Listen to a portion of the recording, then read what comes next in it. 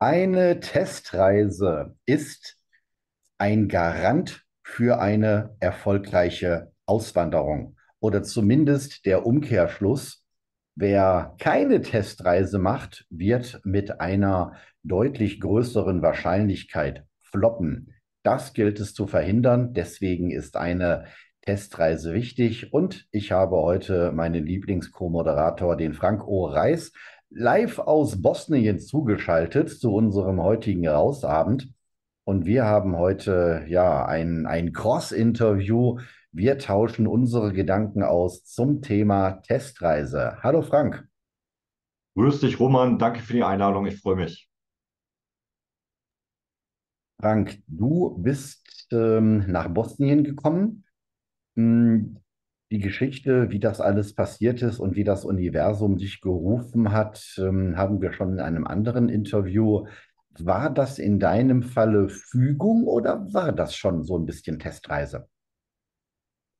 Nee, das war sowohl als auch. Also ich habe ja gesagt, wenn es mir dort gefällt in Bosnien, also ich hatte fünf Tage Aufenthalt hier im September 2014, wenn es mir dort gefällt, dann gehe ich da, weil ich wollte mal ein halbes Jahr im Ausland arbeiten, ein halbes Jahr, ja, äh, dann gehe ich dahin und arbeite von dort aus. Und äh, als ich dann da war, wollte ich gar nicht mehr weg.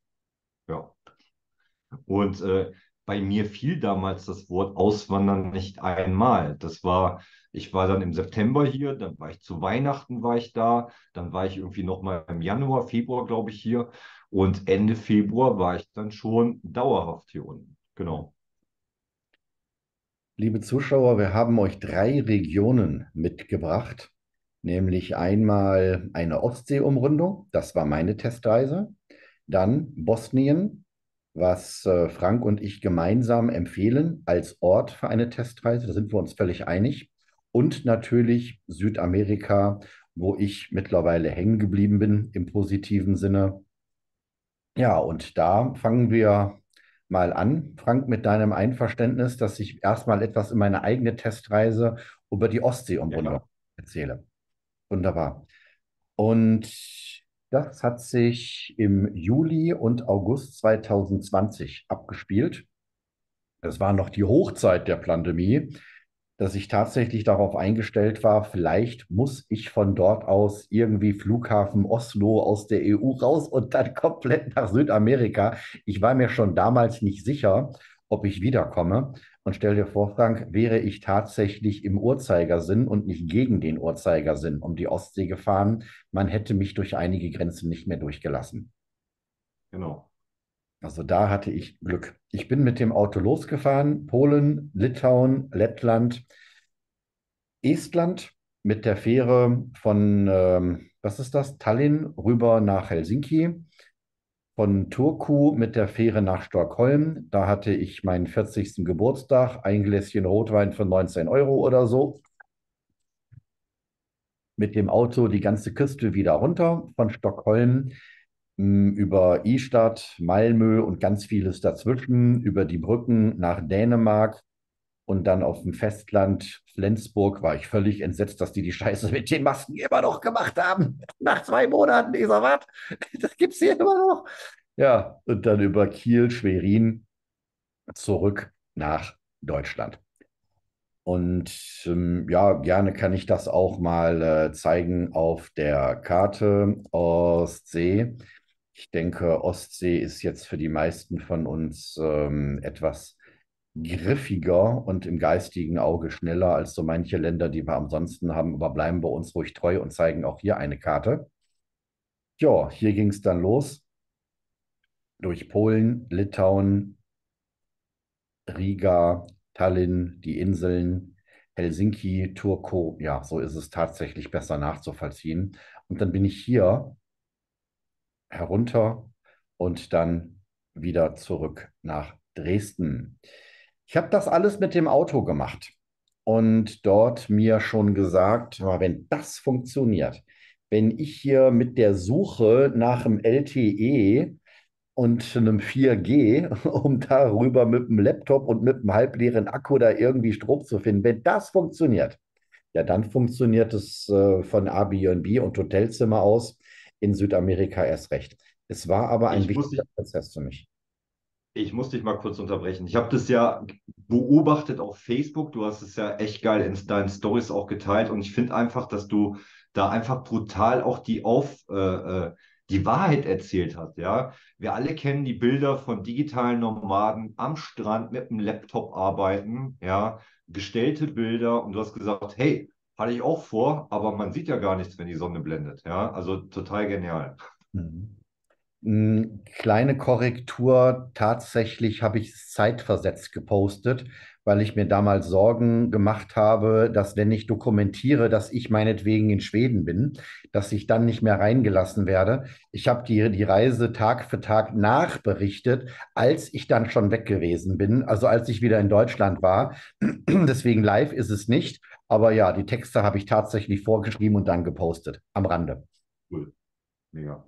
Es ist wichtig gewesen für mein Mindset, um zu sagen, ja, ich kann das. Es ist wichtig gewesen für mein Business, dass ich auch für mich den Beweis hatte, ja, ich kann online arbeiten. Und das Abgefahrenste, ich hatte den Beweis, dass das meinen Kunden nicht nur egal war, dass die das auch großartig finden. Ne? Die haben sich mitgenommen gefühlt, als hätten sie selber einen Urlaub und mich dann immer gebeten, dass ich die Kamera anmachen soll und zeigt doch mal das Meer im Hintergrund. Und ja, meine Erwartungen waren weit übertroffen. In den Ländern, wo ich unterwegs war, hat Englisch gereicht. Und deswegen ist das eine Testreise für Anfänger. Was hätte da bitte schön groß schiefgehen können? Ja, allenfalls, dass sie dir irgendwas aus dem Auto klauen, was in Deutschland genauso passiert. Wir empfehlen Bosnien als Location für eine Testreise. Ich könnte es jetzt selber begründen, aber habe schon genug gesprochen, Frank. Warum Bosnien für eine Testreise? Ja. Zum einen oder zum ersten ist, du kannst die Testreise bequem mit deinem PKW machen oder auch mit dem Flugzeug. Hier runter zu fliegen, je nachdem, wo du bist. Du bist in zwei Stunden hier, in, äh, mit dem Auto kannst du in acht bis zehn Stunden hier sein, je nachdem, von wo du kommst, wo du hin möchtest. Also die Nähe zu, ja, zu Deutschland ist einfach ein wichtiger Grund. Der zweite Punkt ist, es ist ein Drittland, ja, also ein Entwicklungsland im positiven Sinne gesehen. Es ist sicher hier, ähm, aber du bist außerhalb der EU. Ja, das bedeutet, wir haben hier kein Euro und die Leute sprechen hier, ja, es sprechen viele Deutsch und Englisch, was schon weiter hilft. Aber wenn du auf so einem kleinen Dorf bist oder so, da sprechen die halt nur Bosnisch. Genauso wie in Südamerika in den kleinen Dörfern sprechen sie nur Spanisch. Ja, so. Und das Dritte ist, ich meine, das kennt ihr alle, ihr bucht eine Pauschalreise, das ist, das hat nichts mit Auswandern zu tun, ja, das hat was mit Neckermann-Reisen oder was auch immer zu tun.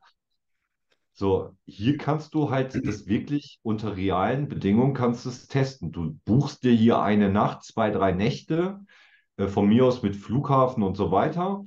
Und dann kannst du unter realen Bedingungen testen, wie ist denn das Einkaufen hier, wie finde ich mich zurecht und äh, wo schlafe ich die nächsten drei oder fünf Nächte. Das hat riesen Vorteile und du bist innerhalb von zwei Stunden kannst du wieder in Deutschland sein, im Flieger von Sarajevo oder Mostar aus.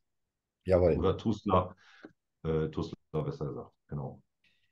In Skandinavien oder im Baltikum, wo jeder Englisch spricht, da ist das, da kann man nicht wirklich von einer Erweiterung der Komfortzone sprechen. Es, die Kultur ist immer noch der deutschen sehr, sehr ähnlich. Man kann jetzt bei der dänischen, schwedischen Kultur nicht davon sprechen, dass da irgendwas jetzt so wahnsinnig anders wäre. Und deswegen, ich, ich pflege hier auch zu sagen, innerhalb der EU umzuziehen, das ist nicht auswandern, das ist umziehen. Ne, das ist keine Testreise. In Bosnien, da wirst du erstmal nichts verstehen. Es ist eine ganz andere Sprache und die kannst du dir auch nicht irgendwie ableiten. Ne, Wenn du etwas Schwedisch liest, dann verstehst du es in der Regel, so wie du auch Holländisch in der Regel verstehst. In Bosnisch wirst du gar nichts verstehen.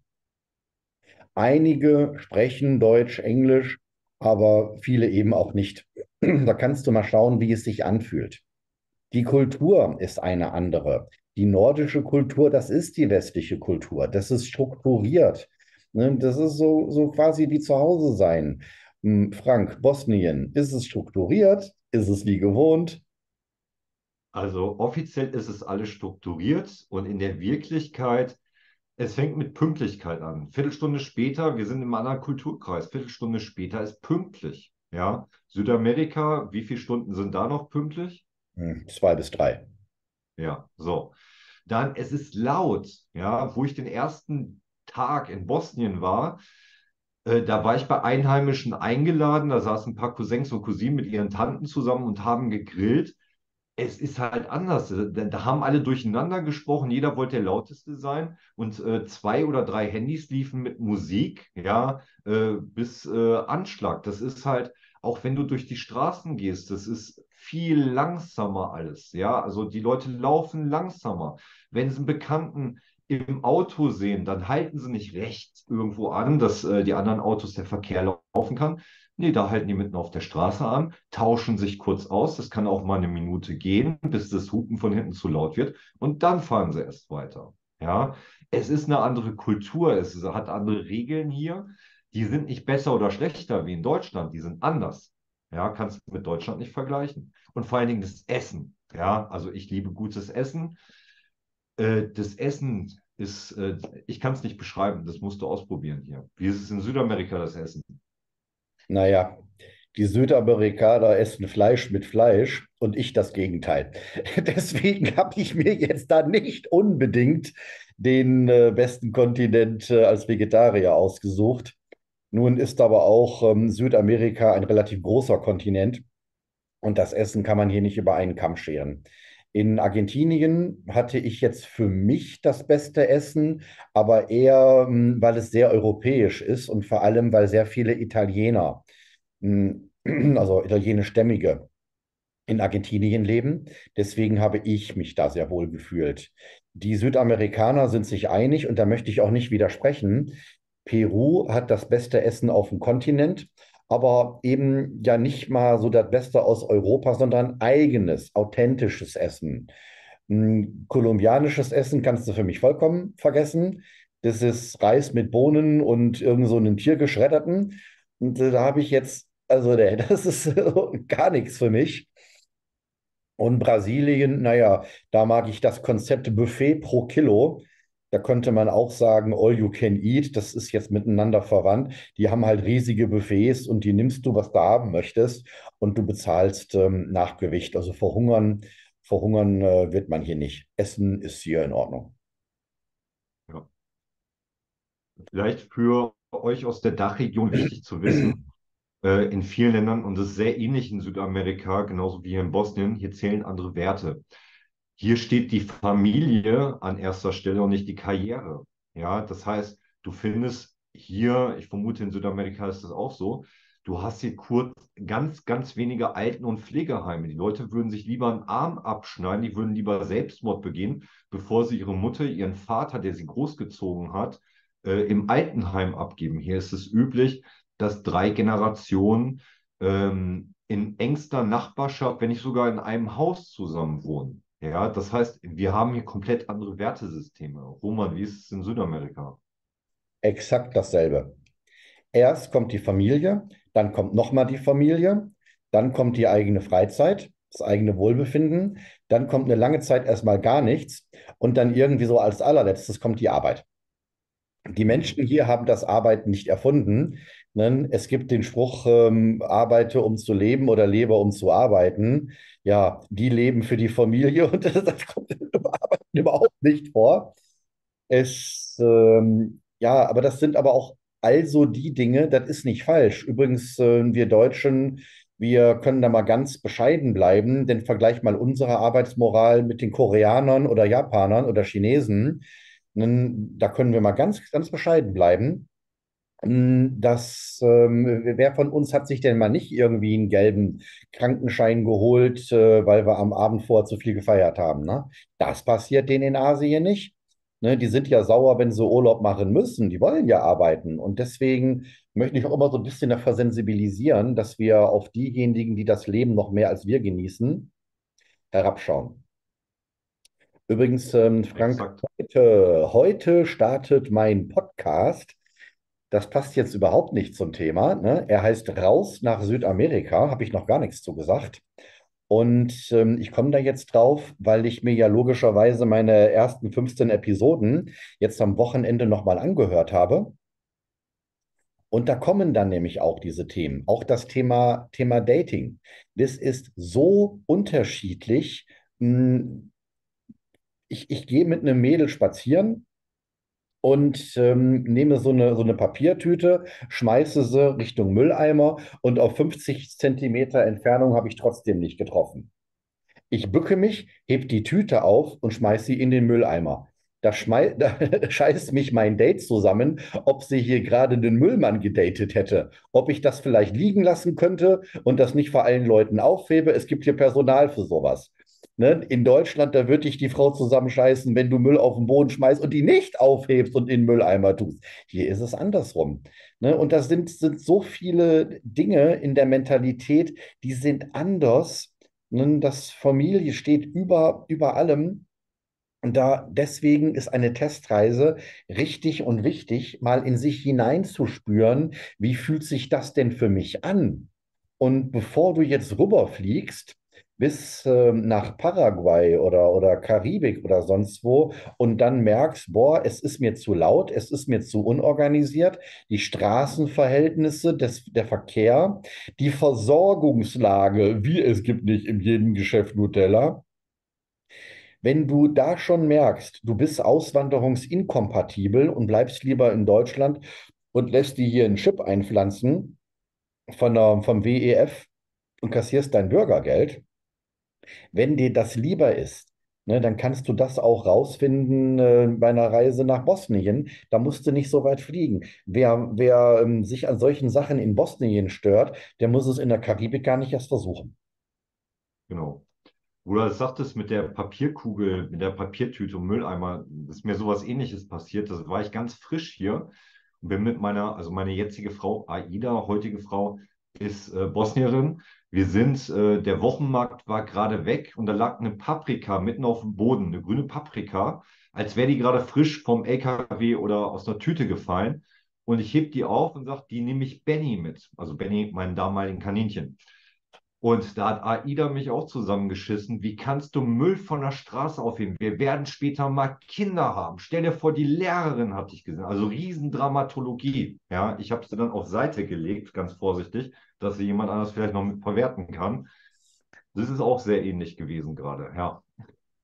Da musst du aber auch zurückstecken können, weil da jetzt zu diskutieren, dass du recht hast und dass die das falsch machen in ihrem eigenen Land, ne? Das sind solche Dinge, das muss man erstmal lernen, da auch vom Ego runterzukommen. Ja, ja. weil mir ist es selber passiert, ja. Ich habe am Anfang alles mit Deutschland verglichen. Das ist besser in Deutschland, das ist besser in Deutschland, das ist besser in Deutschland und so weiter. Könnte ich stundenlang so fortführen, ja. wird nicht spannend, ne? Äh, du darfst nicht vergleichen. Du bist woanders. Und woanders ist es anders. Sonst wäre es ja wie in Deutschland, weil der typische Deutsche, erzähl mal, Roman, ähm, mit die Leute, die ihren ähm, kompletten Hausrat mit nach Südamerika nehmen. Hm. Ja, und ähm, vor allem ist das auch ähm, der beste Weg, dir die Einheimischen zum Feind zu machen, wenn du sie belehrst, was du alles besser kannst. Das ist so auf der, auf der Hassliste, ist das ganz, ganz oben, den Leuten die Welt erklären zu wollen. Ja, tatsächlich gibt es Leute, die möchten äh, ihr, ihr Haus ihr ganzes Leben einmal rüber beamen nach Paraguay, bitte nur mit wärmerem Wetter. Am liebsten soll das Haus genauso aussehen. Ne, da wird noch der Küchenmixer und äh, Omas Tischdecke. Ne, das wird alles mitgenommen im Container, bis man dann hier erstmal feststellt, wenn überhaupt alles gut angekommen ist, ne, dass es deutlich günstiger gewesen wäre, die, die Sachen hier selber neu zu kaufen. Ne? Als, als würden die Menschen hier in einem Erdloch leben und nichts haben. Und auch das wird oftmals ähm, falsch gemacht. Und solche Dinge, das sieht man wundervoll bei einer Testreise. Ich habe ja so einen, so einen Seerucksack gehabt. Ich tue mich jetzt schwer, das äh, von der Menge her zu quantifizieren. Aber ich sag mal, früher im Neckermann-Urlaub, mein Koffer war größer als das, was ich bei der Testreise dabei hatte. Und selbst davon habe ich so vieles gar nicht gebraucht. Du wirst merken bei der Testreise, mit wie wenigen Sachen du lebst und vor allem glücklich bist. Alles kann man waschen. Solche Dinge wie Socken kann man auch mal neu kaufen. Und du brauchst nur ganz, ganz wenig. Wer loslässt, hat beide Hände frei. Exakt. Okay. Ja, Frank, Bosnien. Lass uns das mal in Phasen aufteilen. Wie würde eine Testreise denn aussehen können? Unser Zuschauer auf dem YouTube-Kanal, Max Mustermann, sagt jetzt, okay, gute Idee. Ich will in die Karibik, aber vorher mache ich das mit dem Bosnien. Das klingt ja gar nicht so falsch, was die beiden sagen. Was ist Schritt 1? Ja, also ich würde mich entscheiden, ob ich Flugzeug nehme oder Auto. Für eine Testreise würde ich wirklich das Auto verwenden. Ja, und oder halt mit dem Flieger und dann vor Ort einen Leihwagen äh, mieten. Das ist genauso günstig wie in Deutschland. Eine Woche Leihwagen oder sowas in der Art oder zwei Wochen.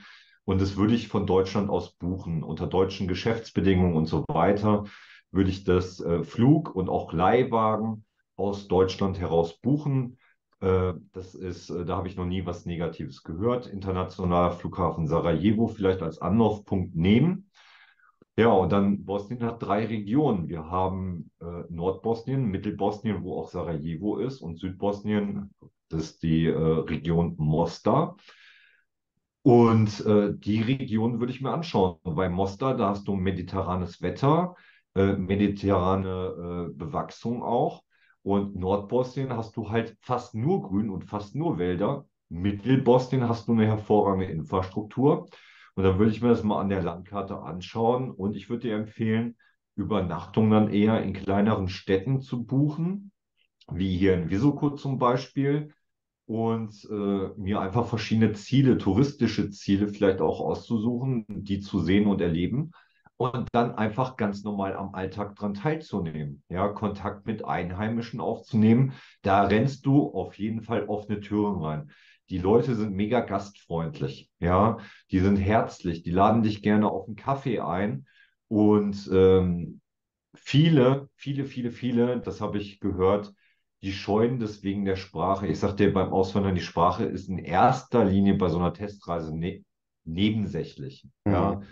Ich empfehle dir, lerne bitte, lerne Danke und lerne Ja, Jelem, ich möchte oder ich wünsche, heißt das übersetzt. Und dann zeigst du vielleicht auf irgendwelche Bilder, ja, oder zeigst, hey, Körpersprache, ich möchte trinken, ja, ja, Jelem, oder ich habe Hunger, ja. Damit kommst du zurecht und da wird dir immer geholfen werden. Ja. Es geht bei der Sprache vor allem darum, die Herzen zu öffnen. Und deswegen sind ähm, eben solche Wörter, bitte, danke, die üblichen Höflichkeitsfloskeln, die sind äh, viel wichtiger als, als alles andere. Und die Technik ist mittlerweile so weit, dass man hier mit einem äh, trivialen Handy, mit einem Google-Übersetzer, kann man so viel machen in diesen Zeiten. Ich nutze iTranslate. Und wenn ich jetzt ähm, reinspreche hier in deutscher Sprache, ich möchte gerne zwölf Bier trinken, Punkt. Und dazu drei Flaschen Wein, Punkt. Ein Glas reicht. Dann kommt das im Spanischen.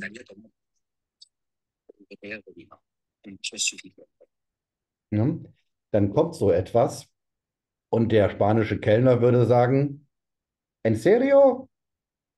Punto. ¿No quieres uh, tres copas y una botella de vino? Ernsthaft. Du kriegst keine drei Getränke und eine Flasche Wein. Ja. Das ist alles möglich mit äh, dieser Übersetzungs-App. Und du musst so ja nur demjenigen das Gerät ähm, hier vor den Kopf halten und du kannst mit dem sprechen. Ja, herzlich willkommen in 2023. Hm? Und das ging schon vor drei Jahren. Deswegen Sprache lernen wird überbewertet. Schau eher, was es mit dir macht. Achte auf deine Gefühle. Natürlich heißt es jetzt nicht zwingend, dass ähm, wenn du dich jetzt in Bosnien schlecht fühlst, dass dir auch andere Länder nicht gefallen werden. Oder genauso kann es auch sein, dass dir Bosnien super gut gefällt. Ne? Und es sind ja immer noch unterschiedliche Kulturen und Mentalitäten und Klimazonen und überhaupt. Aber du bekommst ein grundsätzliches Gefühl dafür. Hm, ebenso das Preisniveau. Ich wiederhole, ein Glas Wein an meinem Geburtstag, fucking 19 Euro. Und ähm, hier gestern beim, beim Japaner habe ich für meine Flasche 35.000 4,20 Euro bezahlt. Für eine Flasche, nicht für ein Glas. Ja? Ach, habe ich nicht mal ein Bild von, schade. Aber hier, Ja. das ist dann das Essen. Zack. Hier, mein, mein Tofu-Zeug und hier die anderen hatten richtige Sushi. Und so eine Riesenplatte, die war auch nur irgendwie 13 Euro, so eine Zwei-Personen-Platte. Ich weiß nicht, was Sushi mittlerweile in Deutschland kosten. Ja, also ich will sagen, Skandinavien, wundervoll, total hübsch, die ganzen Seen und so, ist prima. Da musst du deutlich mehr Geld haben. In Bosnien, da kannst du deine Miete in Deutschland laufen lassen. Und obwohl du einen ganzen Monat in Bosnien bist, hast du wahrscheinlich unterm Strich immer noch weniger bezahlt als mit deinem ganz normalen Leben in Deutschland. Frank, wie lange sollte eine Testreise sein?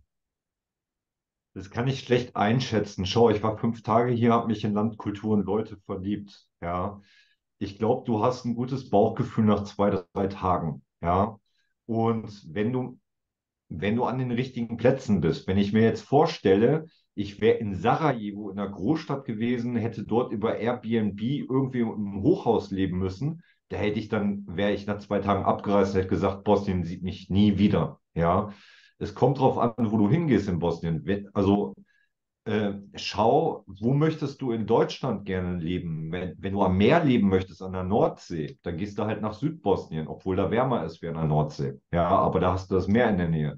Wenn du halt eher so der Waldmensch bist, dann gehst du halt eher vielleicht nach Nordbosnien. Hast du gerne gute funktionierende Infrastruktur in der Nähe, dann gehst du halt in eine kleinere oder etwas größere Stadt, wie zum Beispiel Visoko oder in die Nähe von Sarajevo.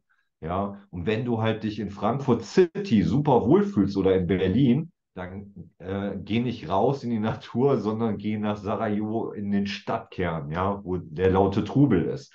Ist vergleichbar mit Berlin. Da ist die ganze Zeit Action, Action, Ja. Action. Dort gibt es natürlich mehr Gewalt dann auch. Da gibt es Hütchenspieler und so weiter. Aber ansonsten ist Bosnien mega sicher. Hm. Das ist eine schöne Überleitung zum Thema Testreise in Südamerika. Ich habe es nämlich immer so gehalten und das schon seit meiner Ostseeumrundung. Wo ich mich wohlfühle, bleibe ich länger. Wo ich es doof finde, ziehe ich weiter. Ganz einfach. Ganz, ganz einfach.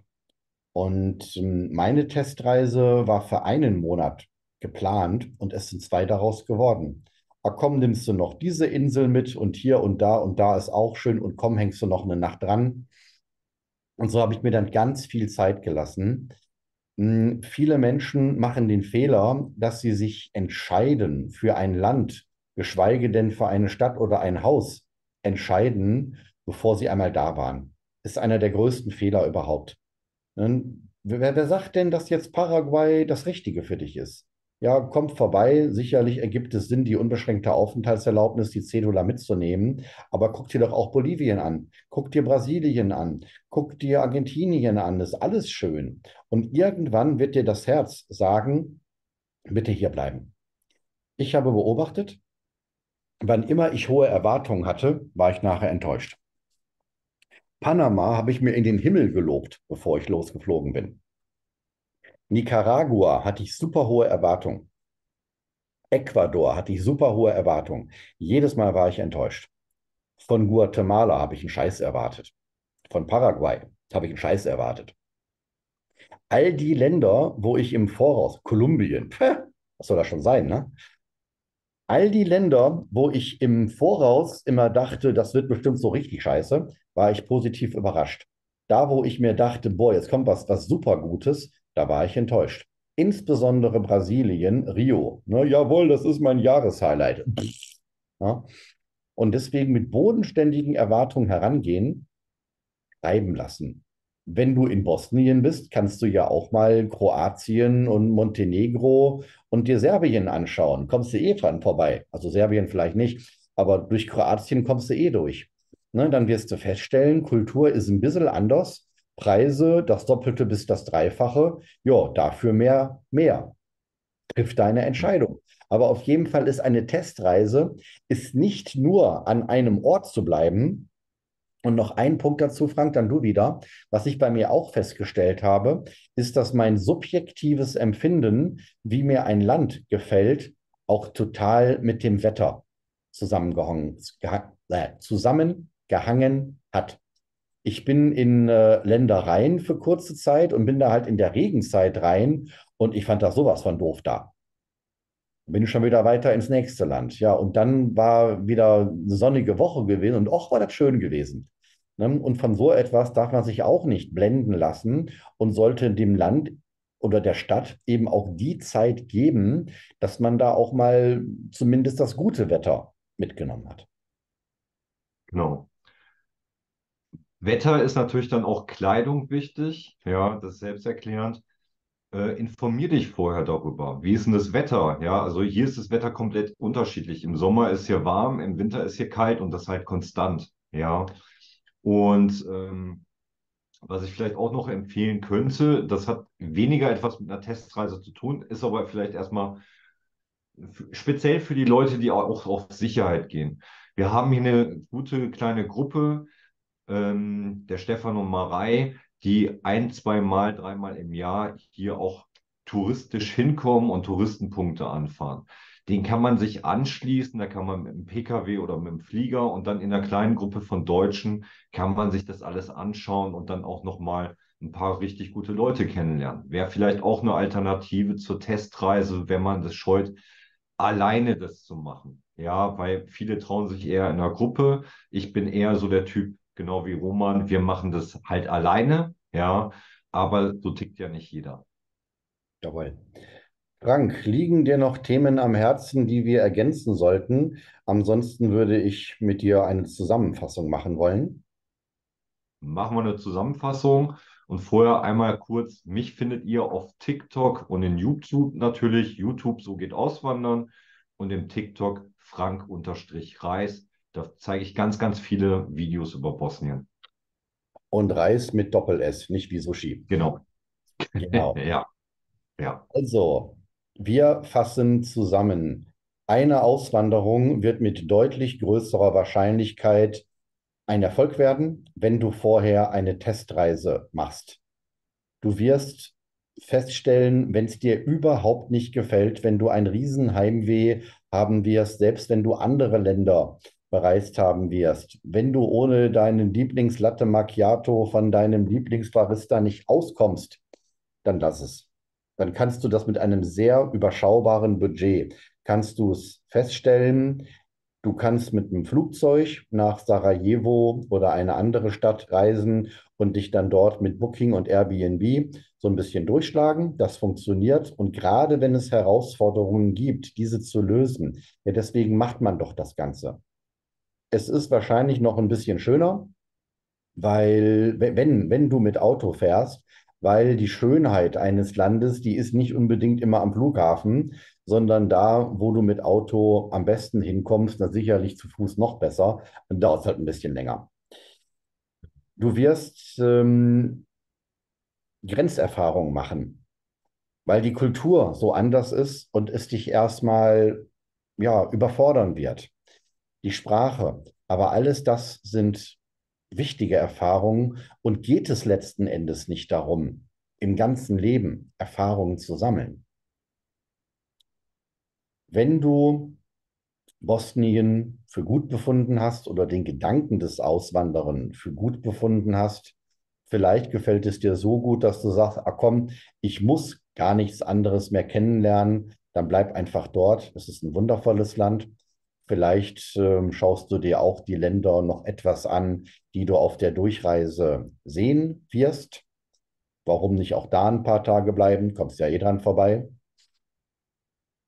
Wenn du sagst, okay, das war alles prima, aber ich habe Fernweh, ich will viel weiter weg, ich will Palmen und die Palmen in äh, Österreich haben mir nicht gefallen, dann bist du selbstverständlich herzlich willkommen in Südamerika. Ich empfehle hier in ähm, Argentinien oder Uruguay zu starten, fast noch am ehesten Uruguay, weil es das teuerste ist. Wenn es dann immer billiger wird, ist noch schöner. Die südlichen Länder, Chile, Argentinien, Uruguay, sind äh, so europäisch, da fällst du optisch schon mal gar nicht auf.